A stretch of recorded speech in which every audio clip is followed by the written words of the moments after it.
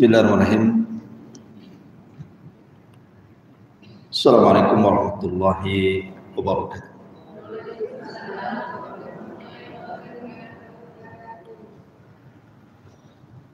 Alhamdulillah Wassalatu wassalamu ala rasulillah Wa ala alihi wa sahbihi Wa mawalah wa la hawla wa la quwata illa Illahi wa ba'd Alhamdulillah segala puja dan puji hanya milik Allah Subhanahu wa taala. Salawat dan salam kita hadiahkan kepada Rasul kita Nabi besar Muhammad sallallahu alaihi wa ala alihi wasallam.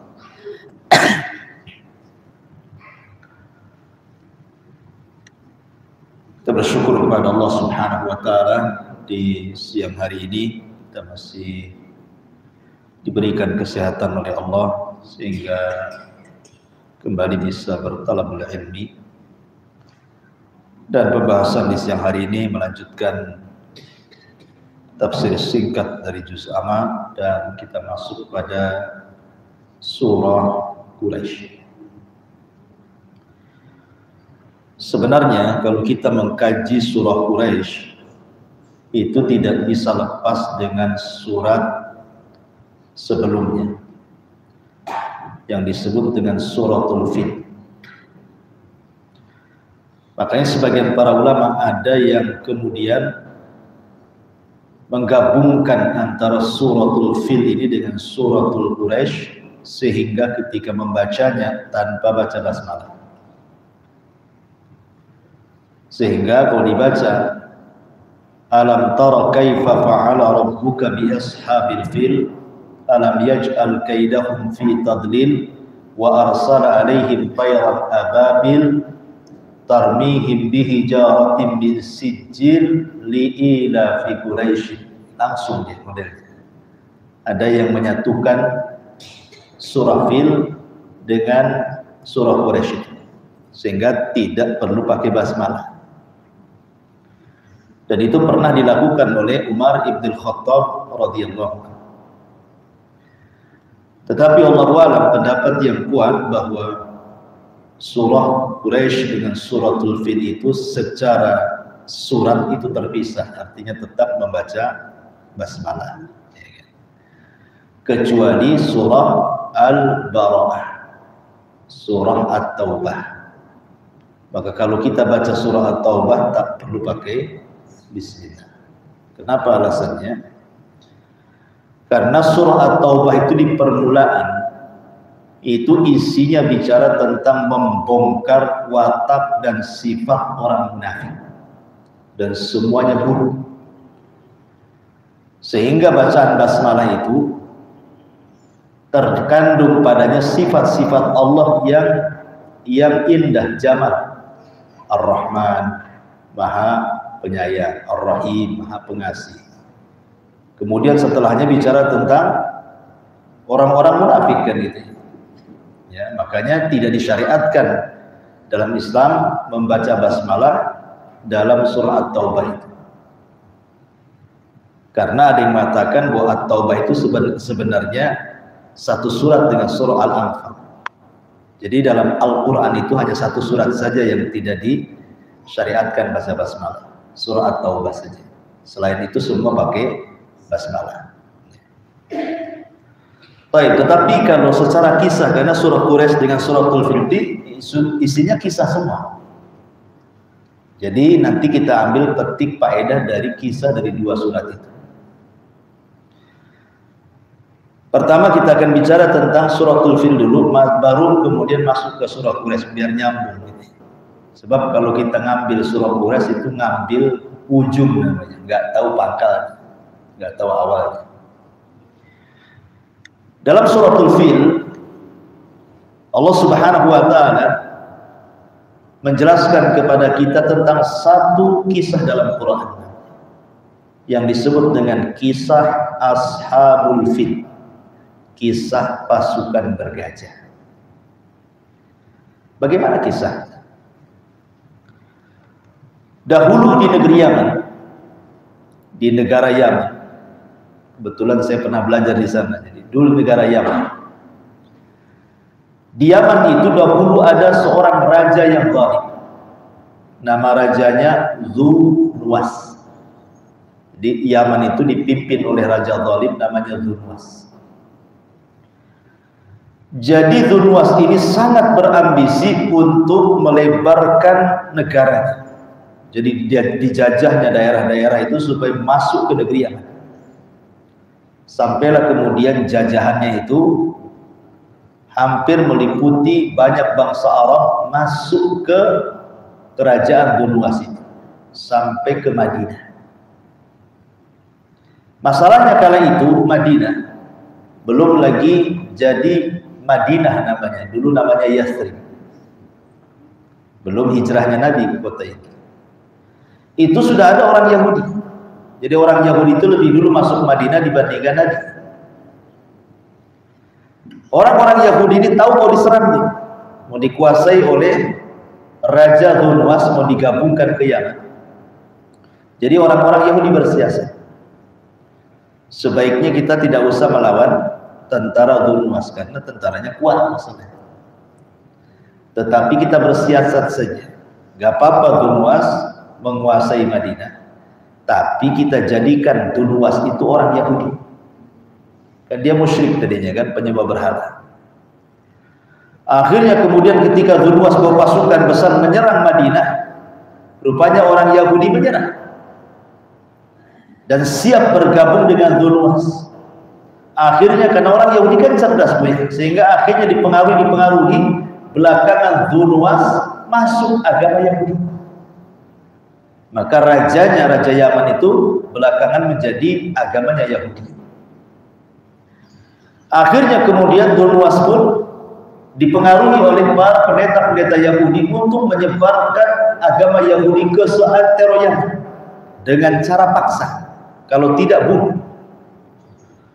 Akhirnya masyarakat Yaman itu dipaksa untuk jadi Yahudi, kalau tidak mati. Terpaksa lah banyak orang yang ikut agama Yahudi karena dakwahnya dengan cara dakwah keras. Kecuali satu daerah. Daerah itu disebut Najran dan Mekah. Ya, Mekah tidak ada orang Yahudi. Kemudian yang kedua di Yaman ada namanya Najran. Najran ini semua penduduknya Nasrani. Sementara ya, rajanya Yahudi itu luas itu. Akhirnya kemudian padri-padri, pendeta-pendeta Yahudi itu mempengaruhi Dunwas untuk memaksa orang-orang Nejron itu masuk Yahudi. Tapi orang Nejron itu kuat akidah. Orang Nasrani di zaman itu kuat akidahnya di Nejron sehingga tak mau jadi Yahudi. Karena tak mau jadi Yahudi, rajanya murka, kemudian dibuatlah parit api dibuatkan parit api, digali tanah, kemudian kayunya ditaruh di situ, kemudian dibakar jadilah parit api. Kemudian Zulwas ini maksa orang-orang Nejron kalau tidak jadi Yahudi masuk ke parit. Subhanallah, 20 ribu Nasrani. Tidak ada yang mau masuk Yahudi, mereka lebih milih masuk parit api. Tebakan di parit 20 ribu orang lah kisah pembakaran 20 ribu dan apa masyarakat Nasrani Najran itu diabadikan dalam surah Al-Buruj. Yang kemudian kisahnya disebut Ashabul Uhdud. Jadi kisah Ashabul Uhdud dengan kisah Ashabul Fil ini tidak bisa dipisahkan maka terjadilah pembakaran ke 20 ribu warga Najran dibakar hidup-hidup sama Raja Yaman yang Yahudi namanya Dhulwas. Maka kisah pembakaran singkat cerita itu disebut Ashabul Udul. Ibu bisa baca kisahnya dalam surah Al-Buruj. Kutila Ashabul Udul An-nari dhatil waqud idhum alaiha dan begitu seterusnya. Nanti kita akan sampai juga ke Al-Buruj. Akhirnya kemudian setelah orang-orang Nasrani Nejron ini dibakar dalam parit api, rupanya Allah takdirkan ada yang selamat. Satu orang selamat. Padahal itu sudah di gerbang, mereka tidak bisa lari. Tapi Allah selamatkan. Kenapa? Karena Allah yang mengatakan dalam Al-Quran, wala tahsabanna wala tahsabanna uh, gimana Al-Qurannya? Ghafilan amma ya'malu zalim. Wala tahsabanna Allah ghafilan amma ya amma ya'maluna zalim. Amma ya'malu zalim. Jangan kau sangka Allah itu lalai dari perbuatan orang zalim. Ini kan zalim membakar orang ini. Seorang membakar hidup-hidup sampai 20 ribu. Kan zalim. Maka Allah mengatakan Allah tidak akan lalai dari perbuatan orang zalim. Pasti ada balasannya. Lah sebab satu orang yang lolos itulah dia akhirnya safar ke mana? Ke Syam. Di Syam itu ada kerajaan Romawi yang semua penduduknya Nasrani. Lapor sama rajanya bahwa Nasrani yang ada di Yaman persisnya di Nejron 20 ribu orang dibakar oleh Raja Yahudi Nawas. Marahlah Raja Nasrani yang ada di Syam itu. Akhirnya Raja Nasrani yang ada di Syam itu orang Romawi ini mengirim surat ke mana? Ke Ethiopia. Karena yang dekat dengan Yaman itu Ethiopia, nggak mungkin orang Syam kirim pasukan ke Yaman jauh. Jadi raja yang ada di Syam di Romawi sana mengirim surat ke Ethiopia, Habasyah, memberitahu bahwa ada satu desa Nejron, 20 ribu Nasrani dibakar. Tolong mereka.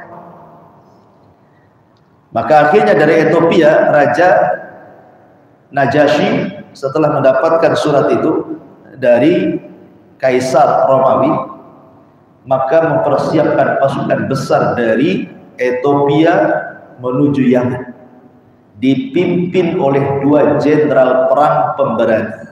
Satu namanya Riyad, satu namanya Abroha. Nah, di sinilah muncul nama Abroha. Ya.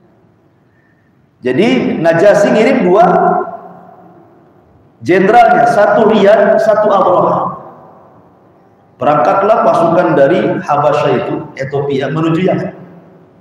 Dengan pasukan besar, akhirnya dibalaskan karena orang-orang Nasrani sudah dibantai maka sekarang terbalik orang-orang Yahudi yang dibantai sama Nasrani yang dari Ethiopia itu akhirnya kabur nih Raja Yaman Yahudi Dunuas kemudian tenggelam di lautan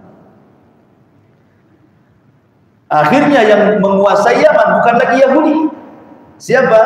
dua jenderal dari Ethiopia satu namanya Rian satu namanya Abraham tidak mungkinlah satu negara dipimpin dua jenderal. Akhirnya Abu Rahab pun orangnya licik. Tiba-tiba membunuh Riyad supaya jangan jadi pemimpin. Dibunuh sama si Abu Rahab Syrian itu. Jadilah Abu Rahab yang memimpin Yaman ketika itu. Lah karena Abu Rahab kan bukan orang Arab, Abu Rahab kan orang Ethiopia, nggak bisa bahasa Ya, sehingga komunikasi dengan orang Arab agak sulit kan itu karena beda bahasa misalnya.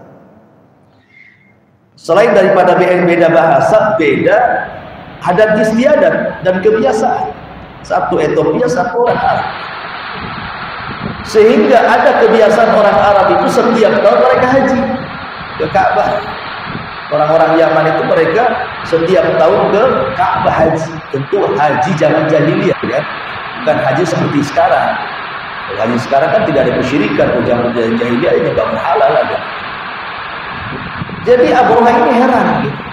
Kenapa orang-orang yang setiap tahun mereka safar ke Mekah, kemudian haji balik lagi.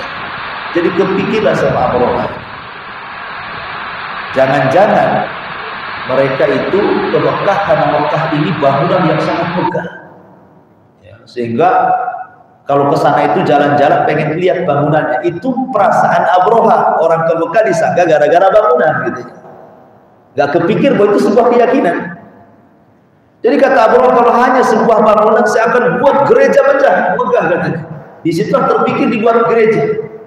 Akhirnya dia pun menyurati Ethiopia untuk mengirim dana besar-besaran membuat gereja termegah di dunia kala itu Kan belum, belum ada gereja termegah zaman itu gitu ya. Oh, sekarang ya banyak ada di mana. Akhirnya Abraha pun betul-betul membangun gereja dengan cara sistem romusan. Jadi orang-orang Arab itu mereka harus datang pagi, pulang malam supaya gerejanya cepat selesai gitu ya. Ya namanya dia penjajah, ya, suka-suka lah nyiksa orang. Akhirnya jadi juga gereja itu. Jadi gerejanya itu sangat tinggi sampai kalau orang nenggak itu dan dia pakai peci begini sampai jatuh. Jadi saking tingginya begini tuh, jadi peci itu sampai jatuh. Dan peci itu dalam bahasa Arabnya disebut kolam suah. Sehingga saking tingginya gereja itu disebut kulais. Diambil dari kolam suah. Jadi kalau nenggak gini itu pecinya jatuh ke belakang. Jadi nama gerejanya itu disebut kulais tinggi besar. Sebagian bahannya terbuat dari emas gitu ya. Memang megah sekali gereja. Abroha kira untuk memalingkan orang-orang Arab supaya jangan lagi ke Ka'bah kunjungi gereja gitu maksudnya. Abroha tidak paham bahwa orang-orang Arab tiap tahun ke Mekah ke, ke Ka'bah itu bukan urusan bangunan, tapi urusan keyakinan. Ya, karena bagaimanapun ajaran Ibrahim itu walaupun mereka sudah menjadi berhala itu masih ada gitu ya apa namanya pengaruh-pengaruh haji itu masih ada cuma caranya saja mereka dengan cara yang salah ada berhalanya nyembah berhalanya dan begitu seterusnya jadi percuma setelah Abu selesai gerejanya kemudian diumumkan kepada orang Arab tak ada satupun yang mau mengunjungi gerejanya. Tidak ada. Orang Arab itu. Ya hanya orang-orang biasa saja ke gereja kan orang-orang Ethiopia. Tapi orang Arab tidak mau. Ditambah-tambah ada ada anak muda dari kabilah sekitar Hawakan mendengar bahwa Abu buat gereja marah. Wah, enak kali buat tandingan Ka'bah. gitu. Jalan kaki anak muda ini dari Mekah sampai ke Son Ayam. Ketika sampai di Son Ayam, dia masuk ke gereja Abu Bakar ada siapa-siapa.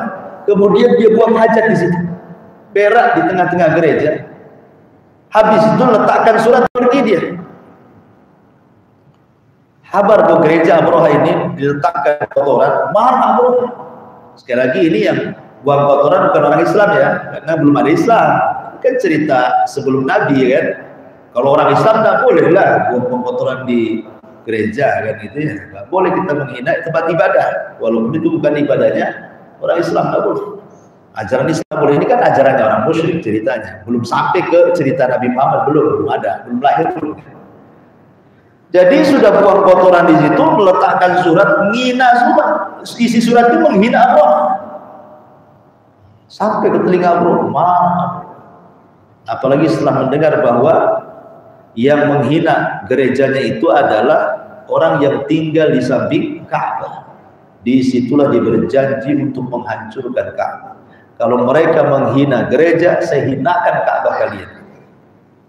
Akhirnya disiapkan pasukan besar kemudian dia minta dikirim gajah dari Ethiopia akhirnya dikirimlah gajah-gajah dari Ethiopia ada yang mengatakan jumlahnya empat ada yang mengatakan jumlahnya delapan kenapa Abraha itu membawa gajah itu tujuannya untuk menghancurkan Ka'bah dengan cara ditarik dengan rantai ini Ka'bah nih pemainnya kotak nih nanti taruh rantai di sini taruh rantai di sini nanti ditarik di sini sama gajah jadi gajahnya itu jalan ke sana, jalan ke sana, jalan ke sini nanti pecah gitu. Maksudnya begitu. Itu maunya Abu itu. Dia mau menghancurkan Ka'bah dengan cara ditarik dengan rantai. Kemudian rantainya diikatkan di gajah. Gajahnya tidak banyak. Ada yang mengatakan empat, ada yang mengatakan delapan. Cuman masalahnya karena orang Arab tidak pernah melihat gajah waktu itu, makanya kemudian dikenal dengan perang gajah. Sebenarnya gajahnya sedikit, yang banyak kuda sama unta. Cuman karena orang Arab tidak pernah melihat gajah itulah makanya akhirnya kemudian disebut ashabul fi, pasukan gajah. Dan gajah yang paling besar yang ditunggangi Abraha itu namanya Mahmud.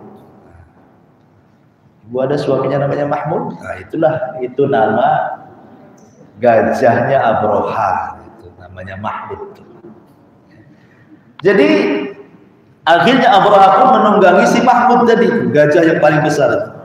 Bergerak dengan tentara dari Yaman menuju Mekah. Zaman itu kan nggak ada Google Map. Kalau sekarang kan ada Google Map enak ya kan, nyari alamat klik aja di mana. Nanti ngomong tuh cewek yang ada di Google Map itu. Kalau salah bilang salah, kalau benar bilang benar kan gitu ya. Abraham nggak tahu jalan dari Yaman ke Mekah, nggak pernah haji pun. Gimana mau tahu jalan? Akhirnya nyasarlah ke daerah Taif Abraham itu. Pasukannya nyasar ke Taif. Lah orang-orang Taif itu kebetulan di situ ada berhala namanya Lata. Kan berhala Arab itu ada Lata, Uzza, Manat, Hubal gitu. Lah, berhala Lata itu diletakkan di Taif. Jadi orang-orang Taif kira jangan-jangan Abu Roha menuju Taif itu untuk menghancurkan berhala Lata karena dia kan nggak tahu jalan Mekah. Ketakutan orang Taif. Daripada diserang Abu Roha, memang tentaranya kuat, nggak ada orang Arab bisa melawan Abu Roha gitu. Akhirnya mereka pun menyerah, menyerah dan mereka siap loyalitas kepada Abu Roha asal jangan menghancurkan berhala Lata akhirnya sama orang Toib dikasih penunjuk jalan. Nama orangnya Abu Rubol jadi ada orang namanya Abu Rubol itu dikasih sama orang Toib sebagai balasan yang kau tidak menghancurkan lata saya akan kasih penunjuk jalan menuju Mekah itu ke mana maka dikasihlah orang namanya Abu Rubol masalahnya Abu Rubol ini baru saja Abu Roha kemudian dibawa oleh Abu Rubol belum jauh Allah takdirkan Abu Rubol meninggal dunia. Maka sejak itulah kuburannya dirajam sampai sekarang jadi orang-orang Arab itu kalau lewat kuburan Abu Rubol lempari batu sampai sekarang ya, kenapa? karena menganggap Abu Rubol itu pengkhianat dan loyal kepada Abu Rohab karena menunjukkan jalan menuju Mekah makanya sampai sekarang kalau lewat di gunung Abu Rubol ambil batu dilempari batu pengkhianat Arab. Makanya orang Arab kalau pengkhianat itu julukannya Abu Jubal. Mereka bilang begitu, Abu Jubal. Akhirnya tapi karena Abu Rahman cerdas, tahu pula lama-lama dia tahu arah ke Mekah. Setelah tanya-tanya maksa-maksa orang masih tahu, akhirnya tahu. Di tengah jalan, Abu Rahman itu lewat di penangkaran unta. Jadi orang-orang Arab juga punya penangkaran unta. Jauh dari rumahnya.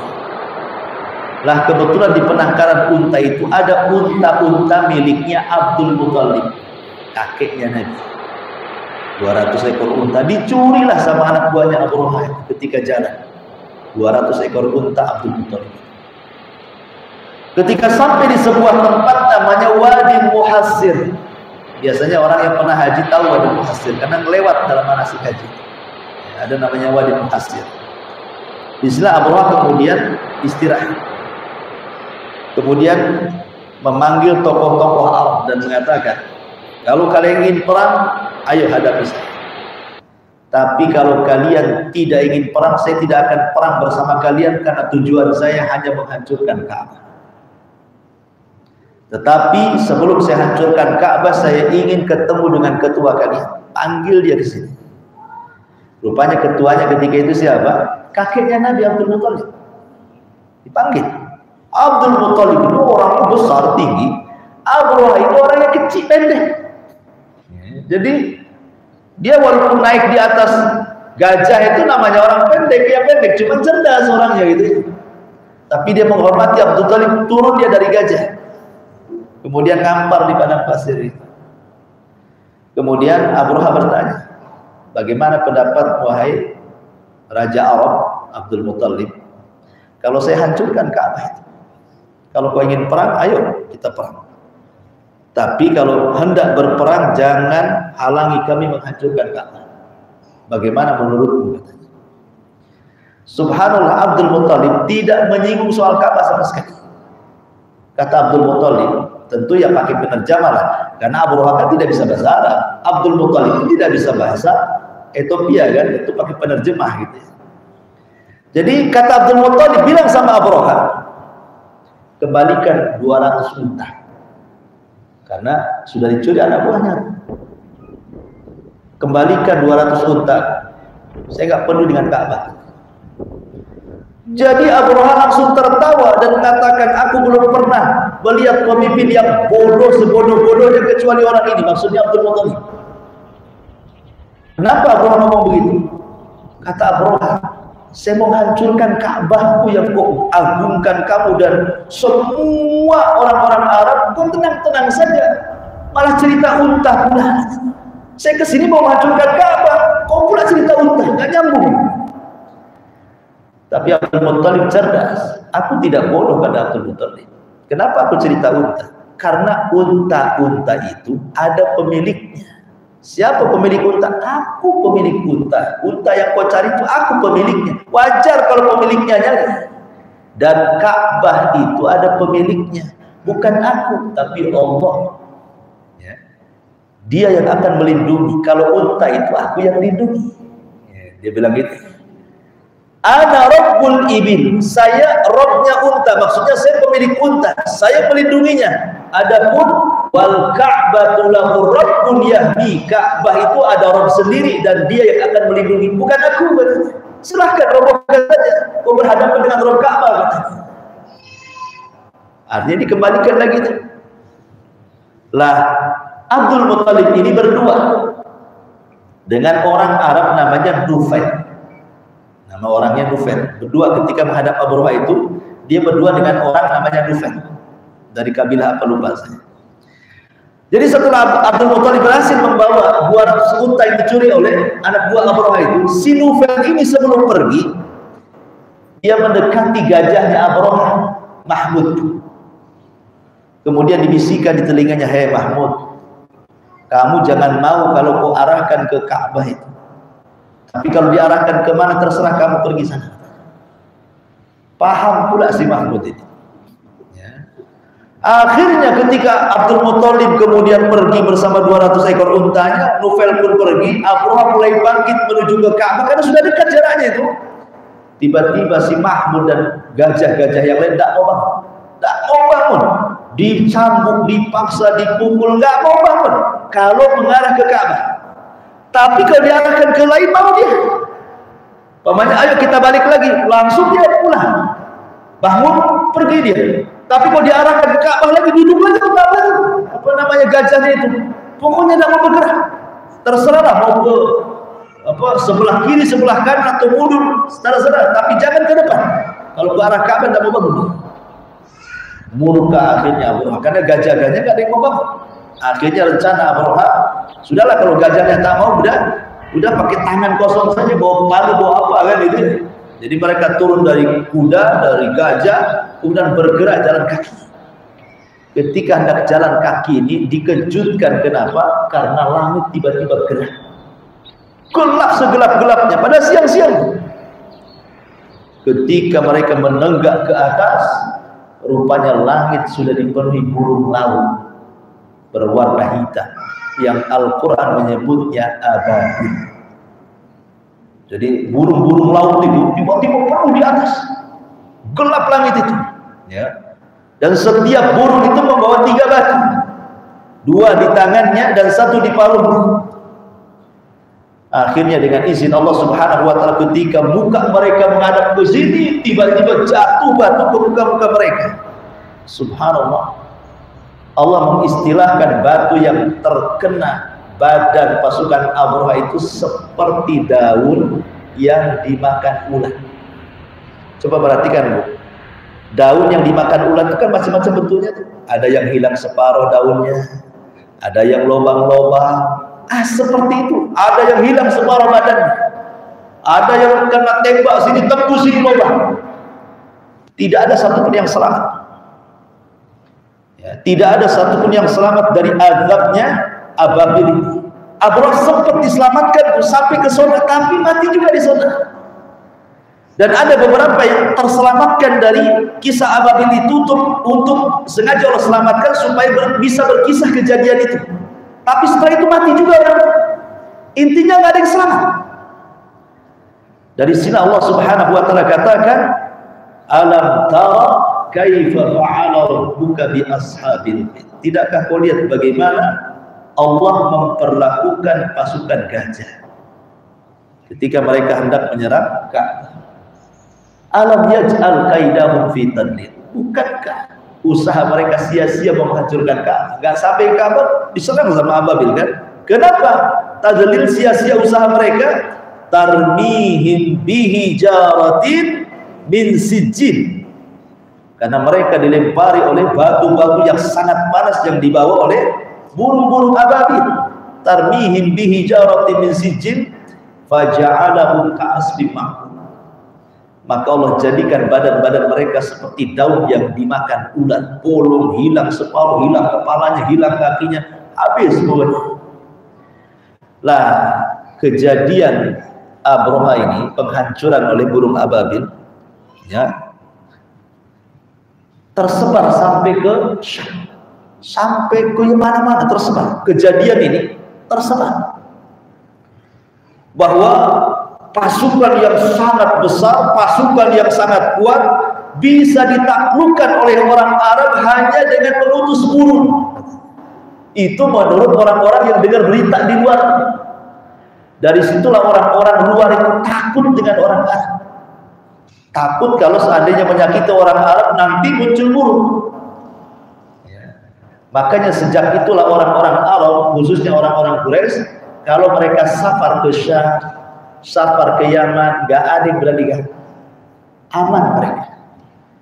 Karena bilang saja saya orang kalau berani sama saya saya orang Mekah, oh langsung pergi penjahat pun tak ya. Makanya Allah mengatakan wa amanahum min khauf. Mereka diberikan keamanan dari rasa takut. Berjalan ke mana saja gak akan takut. Karena bilang saja, eh jangan macam-macam sama saya, saya orang Mekah loh. Oh takut semua orang. Sejak itulah orang Quraisy itu mau jalan ke mana saja, tidak ada lagi berani dirampok, berani dirampas, berani dijarah, tidak ada yang berani.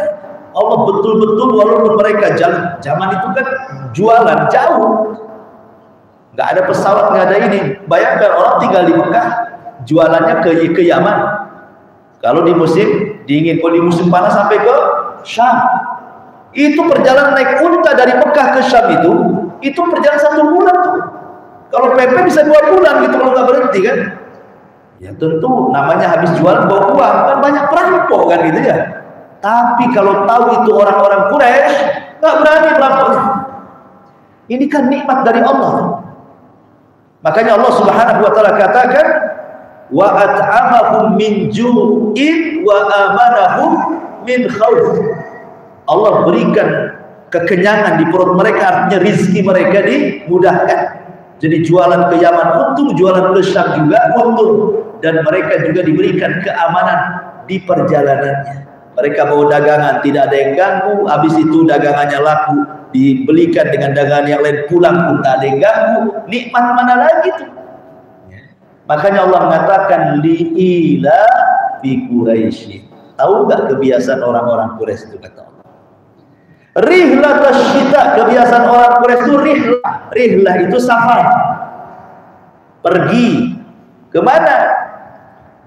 Ke Yaman ataupun ke Syam. Kapan ke Yaman? Di musim syita dingin, wasaib di musim panas. Kalau dingin ke Yaman, panas ke Syam gitu ya. Atau dibalik gitu.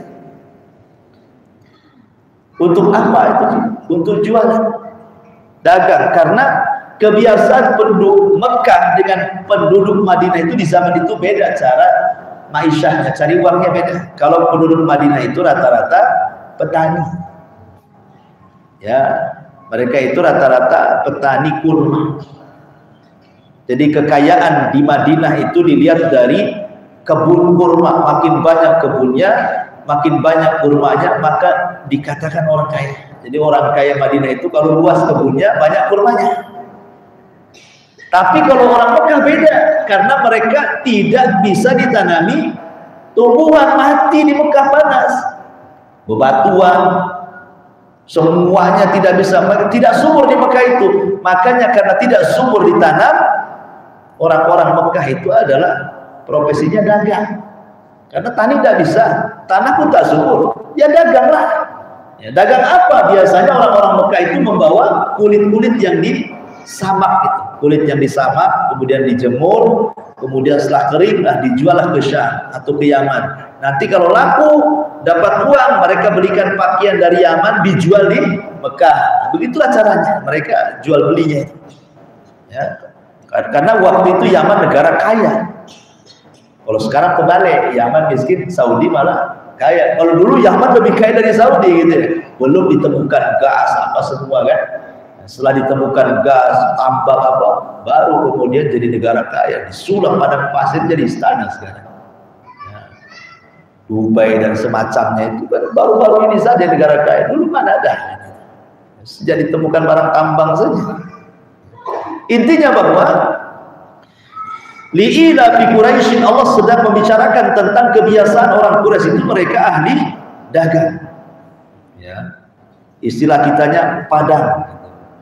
Pandai dagang. Mana orang padang? Ya. Jadi orang-orang sana itu memang pandai-pandai dagang gitu, orang-orang Quraisy. Makanya darah perniagaan itu sampai mengakar mengurat sampai ke anak-anak. Makanya Nabi Shallallahu Alaihi Wasallam ketika usia 12 tahun itu sudah diajak dagang tuh sama Abu, Abu apa Abu Talib itu ke mana ke Syam. Cuman masalahnya ketika sampai di perbatasan Syam ketemu seorang rahim nampak itu nampaknya calon Nabi itu bahaya nih kalau sampai di Syam. Kemudian diperingatkan ya Abu Talib jangan lanjutkan perjalanannya. Sebaiknya anak ini kembalikan ke Mekah. Ini ada tanda-tanda kenabian. Kalau orang Yahudi Syam tahu nanti dibunuh ya anak ini. Tapi syahidnya kan Nabi ketika itu usia 12 tahun diajak dagang sama mamanya. Usia 12 tahun lu usia 6 SD. Suruh jalan kaki mereka dari Mekah ke Syam apa enggak pengkor anak sekarang. Ya kan? Coba anak ibu ya jalan kaki jangan jauh-jauh lah dari sini Marbella ke Nagoya. Apa enggak pengkor? Anaknya Mungkin kalau ibu udah belum sampai di sana baru lampu merah laluan pun sudah asam urat tuh. Ya kan? Belum sampai ke sana kan? Pulangnya pakai beca lah, nggak mungkin lagi pakai yang kaki balik. Tapi kan orang Arab tuh menunjukkan kuat fisiknya tuh. Naik unta kan beda dengan naik kuda, eh, naik bus atau naik pesawat kan? Pastilah. Naik pesawat kan sebentar saja, ini naik unta di atas unta, digoyang-goyang-goyang apa perut kita ini unta semua. Kita saja kalau nggak biasa naik kendaraan, banyak orang muntah di bus, di kereta tuh kan. Kalau nggak terbiasa tuh atau di laut, ini berapa bulan perjalanan itu? Begitu susahnya orang dulu nyari makan, tapi Allah buat mereka itu ahli dagang. Makanya Allah mengatakan liila fi. Allah hendak membicarakan tentang kebiasaan orang Quraisy. Apa rihlah? Mereka melakukan safar untuk apa? Untuk dagang. Kapan di waktu musim dingin dan musim panas. Artinya setahun itu dua kali mereka melakukan safar ke Yaman dan ke Syam. Dan Allah berikan dua nikmat. Jadi dalam perjalanan itu Allah berikan dua nikmat. Satu at'amahu minju. Perdagangannya selalu sukses, menguntungkan, tidak pernah rugi, mereka kaya. Yang kedua wa amanahum min khawf. Mereka diberikan keamanan saat jalan. Gak ada yang ganggu. Bilang saja orang Mekah orang semua takut. Karena nanti ada burung ababil. Kemudian setelah itu Allah Subhanahu wa taala hanya minta bersyukur. Allah sudah kasih nikmat nih. Kamu jalan ke sana aman, daganganmu laris, kurang apa? Maka Allah minta bersyukur. Apa syukurnya? Falyabudu rabb hadzal bait karena kalian sudah dikasih nikmat, tolong sembah Rob pemilik Ka'bah. Gara-gara Ka'bah inilah kalian jadi seperti ini. Coba kalau Ka'bah hancur, hancur juga mereka kan. Ketika Ka'bah tidak hancur, karena Allah jaga, sehingga akhirnya Ka'bah itu disucikan dan disakralkan sampai hari ini dengan sebab itulah datang ababil akhirnya kalian jalan ke sana orang tahu kalian itu tetangganya Ka'bah nggak akan berani disentuh Bilang aja tetangganya Ka'bah nggak akan boleh disebut. Lah karena sudah diberikan nikmat tolong sembah Kak Roh pemilik Ka'bah ini. Ayat ini maksudnya tolong sembah pemilik Roh Ka'bah ini karena setelah mereka diberikan nikmat yang cukup lama. Peristiwa Abroha dengan kelahiran itu tidak lama. Ya, ketika Abroha dihancurkan oleh burung ababil itu sekitar 50 hari dari kelahiran Nabi. 50 hari berapa bulan? Satu bulan 20 hari.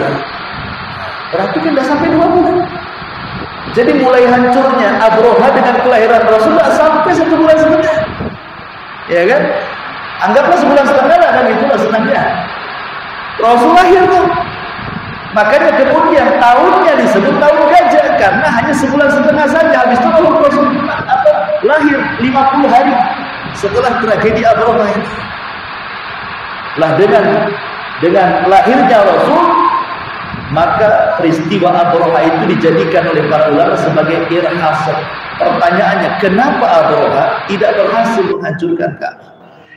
Karena di sekitar Ka'bah itu ada penduduk-penduduk di situ, ada seorang wanita namanya Aminah sedang mengandung seorang nabi.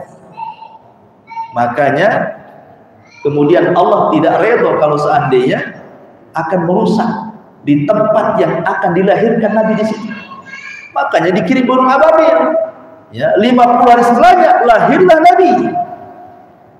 Setelah Nabi Shallallahu Alaihi Wasallam kemudian besar sampai usia 40 tahun, maka Rasul kemudian mengajak mereka untuk ketahui sebagai bentuk syukur mereka ratusan tahun diberikan keamanan safar, diberikan rizki banyak, ah sekarang diutus Nabi kepada kalian.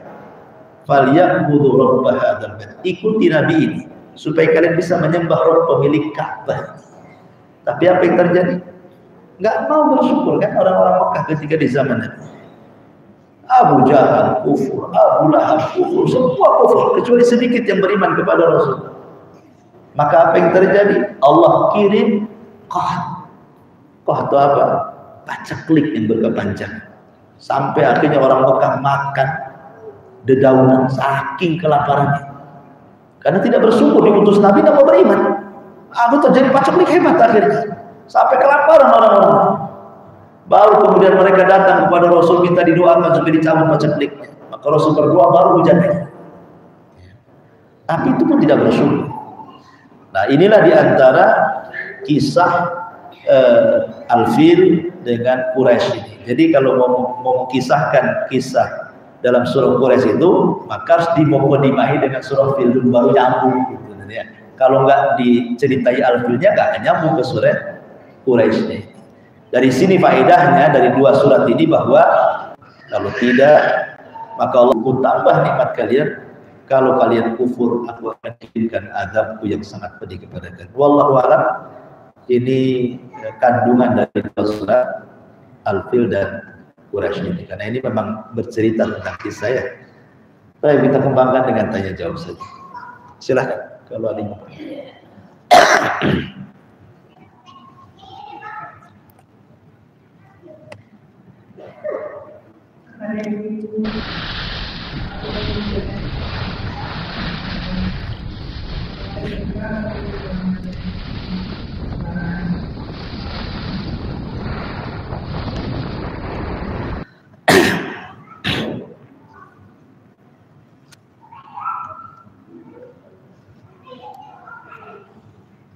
Iya, silakan Bu atau mau tanya materi yang lain enggak apa-apa.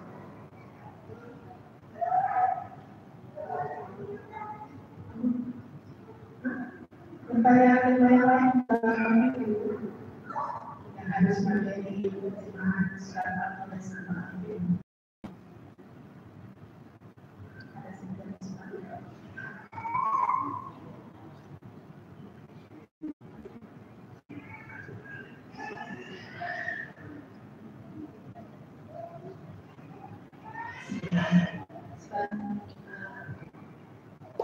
bagaimana perintah uh, supaya rasa takut itu hilang percaya uh, supaya kita lebih bersyukur karena kita sudah merasa ragu-ragu uh, ketakutan gitu ya ketakutan. Iya. Jadi kalau kita berhenti sebenarnya kita tuh pasti dari dari orang akan rezeki dari Allah atau berkah dari Allah itu tapi itu kan manusia tidak nggak luput dari dosa jadi gimana mereka iya iya Ya, Alhamdulillah. Manusia tidak lepas daripada tiga kata. Haznun wa ghammun wa hammun. Ulama mengatakan seperti itu. Haznun sedih. Ghammun susah. Hammun bingung. Orang tidak lepas daripada sedih, susah, bingung. Sedih perkara yang sudah berlalu ingat-ingat yang sudah berlalu itu kayaknya sedih. Dulu pernah berhasil, dulu pernah kaya, sehat, dulu pernah punya pangkat jabatan, sekarang jadi sudah purnawirawan, nggak dihormati. Sedih, sedih itu biasanya mikir yang sudah berlalu. Dulu punya orang yang dicintai meninggal, pikiran itu sedih nanti. Ya. Ini yang pertama. Yang kedua, ngomong susah keluh kesah, bertengkar dengan suami, bertengkar dengan anak-anak, capek, susah cari makan, banyak pikiran, susah, susah tidur, susah ini, susah itu. Nah, ini di masa sekarang yang kita hadapi. Kemudian yang ketiga, hamun kebingungan, bingung mikir masa depan. Semana nih besok? Anak saya ini gimana? Nanti saya kalau sudah tua gimana? gimana gimana akhirnya nyanyiannya gimana gimana jadi nah, itu orang bingung ya. jadi orang itu biasanya sedih memikirkan sesuatu yang sudah berlalu susah memikirkan sesuatu yang sedang berlaku bingung menghadapi masa yang akan terjadi orang itu tidak lepas dari tiga perkara makanya Nabi Shallallahu Alaihi Wasallam mengajarkan doa kepada Abu Umar Allahumma inni a'udzubika minal hammi wal hazan. Ya Allah, aku berlindung kepadamu dari kebingungan dan kesedihan. Jangan bingung. Karena biasanya dunia ini membingungkan dan menyedihkan dan menyusahkan. Makanya Allah mengatakan innal insana fi. Manusia itu memang diciptakan dalam kondisi keluh kesah dikasih sedikit mengeluh, dikasih banyak minta tambah. Nah, itulah manusia. Tidak akan puas kan itu ya. Makanya apa yang dilakukan oleh kita? Pertama, jadilah orang yang konah. Apa sih konah itu? Konah itu redo dengan pemberian. Itu disebut konah. Mau sedikit, alhamdulillah. Mau banyak, alhamdulillah. Ya, itu disebut kona'ah. Pokoknya mau diberi sama Allah berapa aja nggak apa-apa. Kemudian setelah kona'ah jadilah zuhud. Dari kalau kita sudah bisa kona'ah nih, redo dengan pemberian Allah, maka berpindah ke yang kedua. Jadilah orang zuhud. Apa zuhud? Apa pun yang Allah berikan, letakkan di tangan. Ya. Jangan letakkan di hati letakkan di tangan. Mau banyak, mau sedikit, taruh di tangan. Jangan taruh di hati. Tahu sejuta di tangan, satu miliar di tangan. Mau dua juta di tangan, satu triliun tetap di tangan. Jadi kalau harta datang cukuplah sampai di tangan, pergi harta berarti pergi dari tangan. Kenapa? Hati jangan diganggu. Kalau hati tidak terganggu, baik uang sedikit atau banyak, harta sedikit atau banyak, maka datang harta biasa-biasa saja tak senang. Pergi harta pun biasa-biasa tak sedih. Sehingga tenang tuh jadinya. Mau datang harta ya sampai di tangan, pergi harta ya pergi dari tangan gitu maksudnya. Jadi harta itu hanya berpindah tangan saja.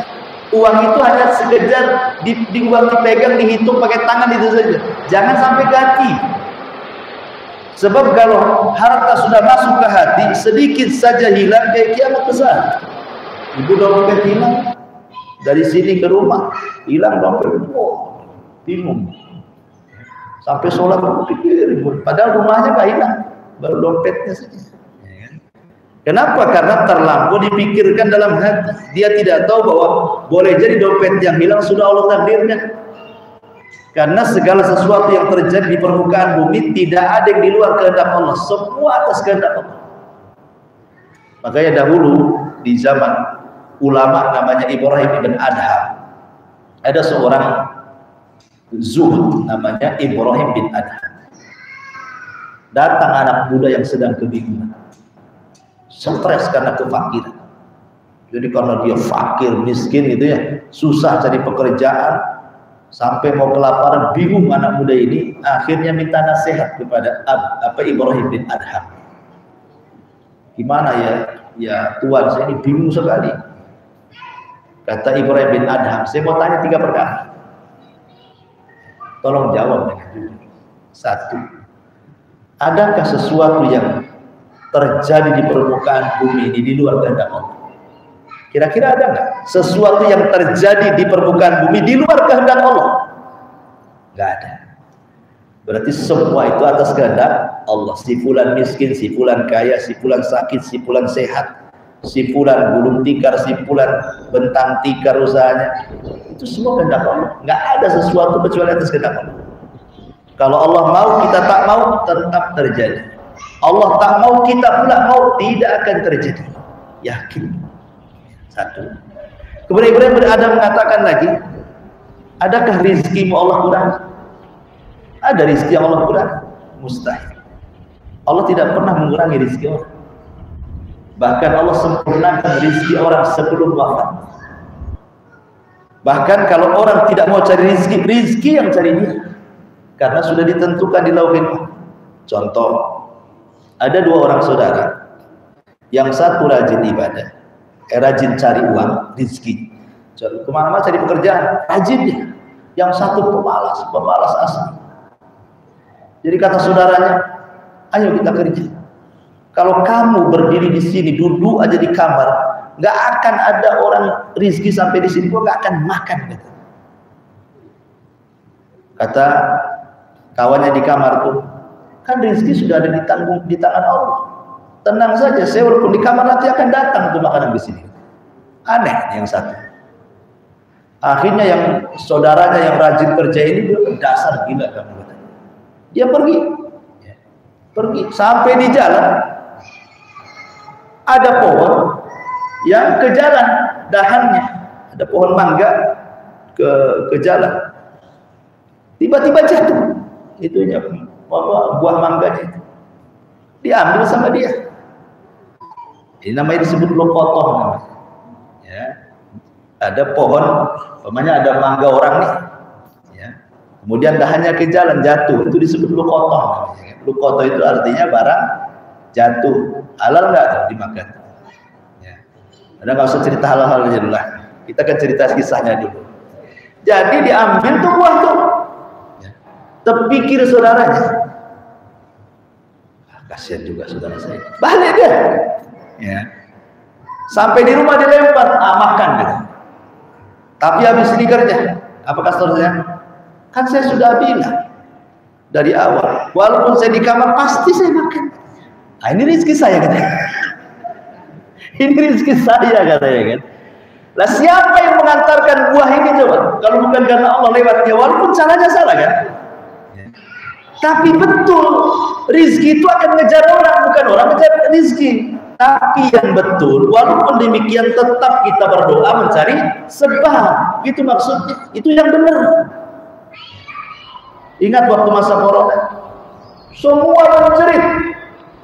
Tapi setelah corona hilang, semua keluarga gemuk. Kok bisa? Padahal statusnya ekonomi cepat nih PHK sana sini. Tak ada yang kurus waktu corona. Semua gemuk. Dan siapa yang ngasih makan orang waktu corona gitu. Jadi intinya masalah rezeki itu nggak usah ditakuti karena sudah ada dicatat di atas. Makanya Ibrahim bin Adham ngomong sama orang ini, apakah ada rezeki yang Allah kurangi? Kan nggak ada. Kemudian yang ketiga, adakah ajal dikurangi Allah waktunya? Nggak ada.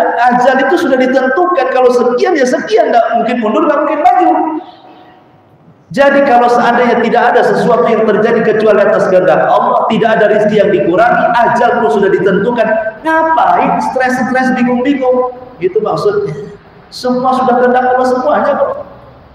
Kalau hari dapat uang yang nggak bahagia, memang uang itu harus saya dapat dan sudah dicatat sebelum Allah menciptakan langit dan bumi 500 tahun. Oh, hari ini saya dapat uang.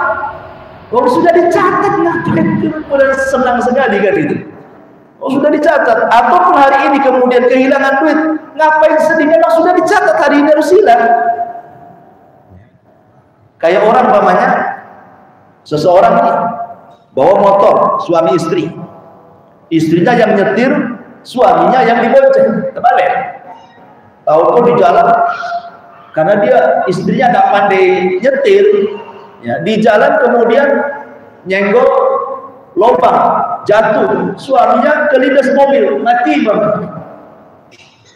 tak boleh kemudian mengatakan kalau tadi seandainya coba tadi suami yang di depan saya yang di belakang nggak akanlah terjadi kayak gini. Nggak boleh ngomong kayak gitu. Memang sudah takdirnya.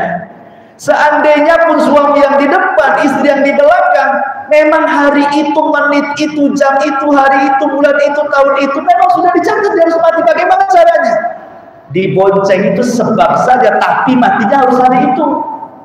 Bisa saja dia nggak nggak kegilas mungkin ke, apa namanya hari itu mungkin dia jatuh mungkin dia kepleset mungkin pokoknya harus mati dengan cara apa pun hari itu itu hanya sebab saja. Ya. Jadi semua kan sudah dicatat itu. Ya, jadi apalah yang mau distreskan lagi kalau sudah dicatat? Makanya satu kona'ah ridho dengan pemberian dua zuhur letakkan harta di tangan tiga warok Wara itu artinya menghindari sesuatu yang haram.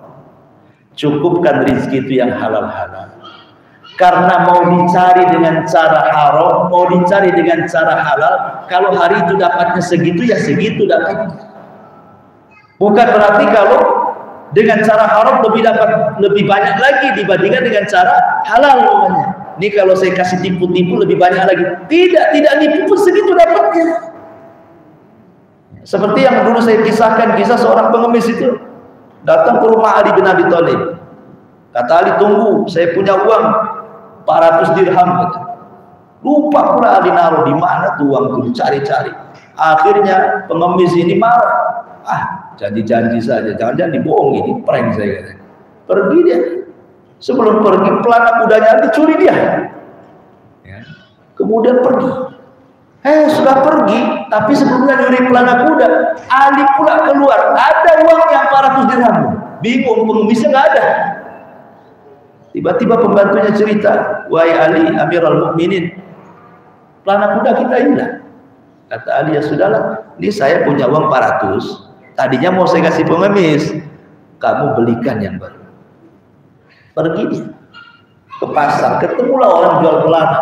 Tawar tawar tawar tawar dapatlah 400 ulang kata Ali lah ini kan pelana kuda kita. Kamu beli sama siapa kan itu? Katanya dia cerita oh dari orang yang sifatnya begini-begini Allah Akbar itu kan pengemis tadi. Kan sama-sama dapatnya 400 ya? Makanya kata Ali Allahu Akbar kalau dia mau sabar dia dapat 400 dengan cara halal. Karena aku kasih secara ikhlas. Tapi dia tidak sabar dia dapat 400 dengan cara haram. Karena apa? Dia menjual pelana curian. Sama-sama 400 juga dapatnya. Jadi apa dikiranya kalau umpamanya uh, dengan cara yang haram gitu ya itu menambah rezeki kalau cara halal mengurangi rezeki? Enggak juga. Mau halal haram kalau Allah takdirkan segitu dapatnya segitu juga. Cuman caranya yang beda. Makanya sabar supaya dapat yang halal bersih. Jadilah orang warok supaya yang dimakan itu bukan yang haram-haram. Enak orang itu kalau kona'ah kalau zuhud kalau warok tenang hidup itu biasanya yang nggak kona'ah nggak zuhud nggak warok itu stres hidupnya nggak redo dengan pemberian maunya nambah nambah nambah nambah tapi hayalannya saja uangnya segitu-segitu saja apa nggak stres ya. pengen gedung tapi tetap di kos-kosan buat apa ayat kan? Karena begini Bu ya, manusia itu diberikan oleh Allah Subhanahu wa taala kehidupan yang nyata. Kita ini hidup nyata. Beda dengan jin itu kan perkara gaib ya. Jin itu sesuatu yang gaib. Nah, karena alam itu kan ada alam jin, alam manusia, alam binatang. Masing-masing alam itu. Itu tidak bisa lintas-lintasan. Manusia lintas alam gaib jin, manusia lintas alam hewan tidak bisa. Manusia itu sudah ada alamnya sendiri. Dan kita ini hidup di alam nyata, di alam fakta. Jangan menghayal. Yang ada sekarang itulah yang ada. Di depan kita ada tempe, makan ada tempe.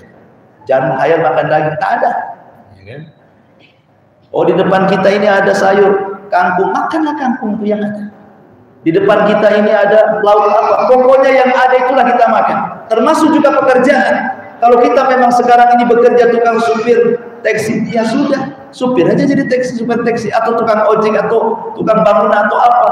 Enggak usah menghayal tinggi-tinggi. Karena ada orang yang menghayal ingin merubah nasib dengan cara lintas alam. Maksudnya lintas alam itu apa? Datang ke dukun. Dukun itu kan hubungannya dengan setan, dengan alam gaib, ya kan? Dengan jin. Nah, dikiranya kalau datang ke dukun besok jadi manajer, dikasih mantra-mantra kemudian luluh. Bosnya ah, besoklah kau jadi manajer kan? Enggak juga. Betapa banyak orang yang datang ke dukun menyesal itu. Kenapa? Udah bayar banyak, dukunnya kabur. Banyak. Jadi nggak usah lintas-lintasan alam itu, yang ada saja. Bismillah. Pekerjaan itu kalau ditekuni, kalau jujur, kalau profesional, pasti berhasil. Kenapa? Karena Allah suka yang telaten.